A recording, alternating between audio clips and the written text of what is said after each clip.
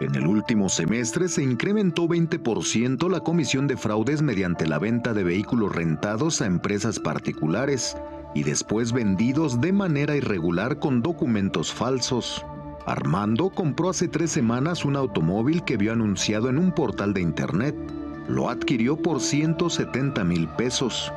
Su sorpresa fue mayor cuando en un operativo de revisión le informaron que ese vehículo contaba con reporte de fraude.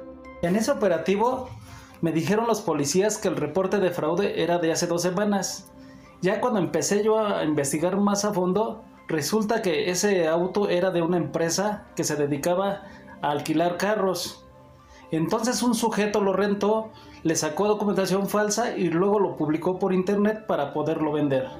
La Policía Cibernética de la Ciudad de México ha identificado el modus operandi de los delincuentes.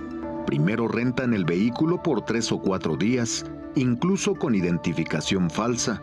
En ese periodo elaboran documentos apócrifos y posteriormente ponen a la venta el automóvil. El gancho principal que utilizan los ciberdelincuentes para atraer a sus posibles víctimas es un precio eh, por debajo del mercado que sea muy llamativo o que inclusive coloquen algunos pretextos como por ejemplo que tienen alguna emergencia familiar, que te presentan a lo mejor eh, alguna situación de emergencia en donde necesiten el dinero y por eso ese es el pretexto de vender su vehículo. Los delincuentes llegan incluso a solicitar adelantos con el objetivo de acelerar la venta del vehículo.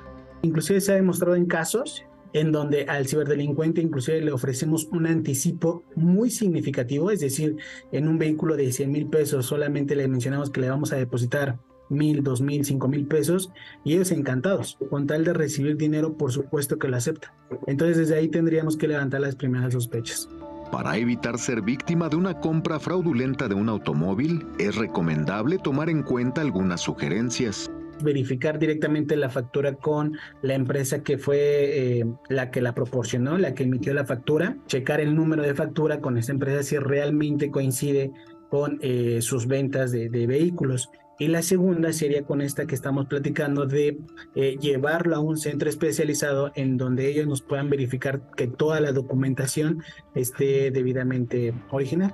También se puede verificar si un automóvil está vinculado a un fraude, una extorsión o incluso a un secuestro, con el número de placa o serie del automóvil en la base de datos llamada Registro de Automotores de Procedencia Ilícita, integrada por la Fiscalía de Justicia de la Ciudad de México.